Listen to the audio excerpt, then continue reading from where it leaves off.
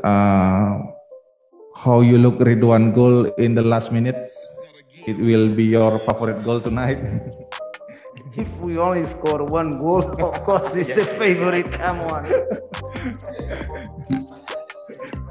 Iya, iya. Oke, uh, lanjut.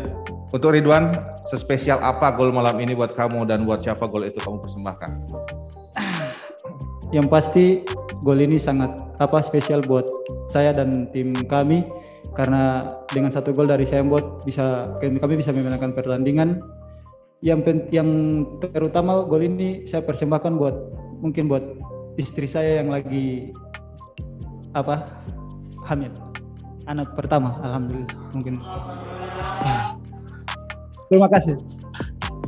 One question uh, in the second half Arema FC play more better than uh, the first half but in some situation Arema FC too easy lose the ball and give Persela chance to counter. Any evaluation coach yes. Uh, it's true. We play better in the second half. We we have more ball possession. We we play more time in the opposite. We take more risk.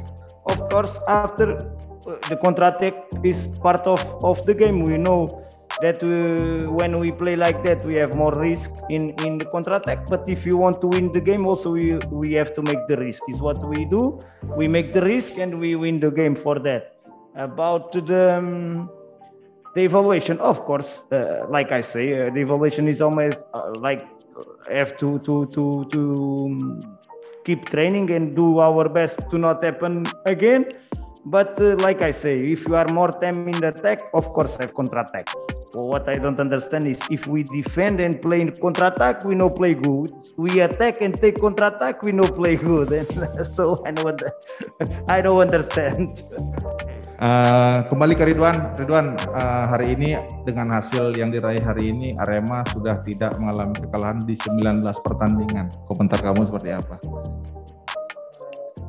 Ini sangat luar biasa bagi tim kami ya.